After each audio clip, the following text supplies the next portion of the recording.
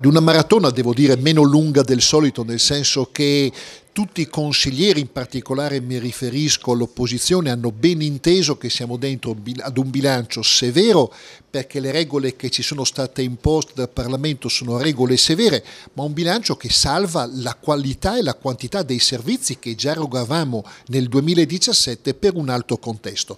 Approvato il bilancio, adesso lo dobbiamo attuare, ma soprattutto adesso come deve cominciare un'interlocuzione con le forze parlamentari e con il futuro governo.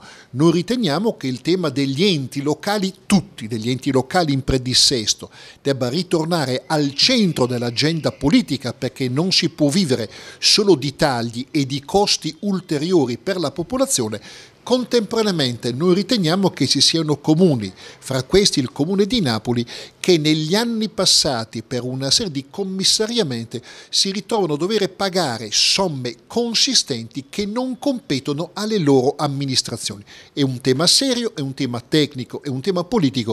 I territori hanno bisogno di respirare. Il nostro impegno per Napoli è esattamente questo, un respiro nuovo.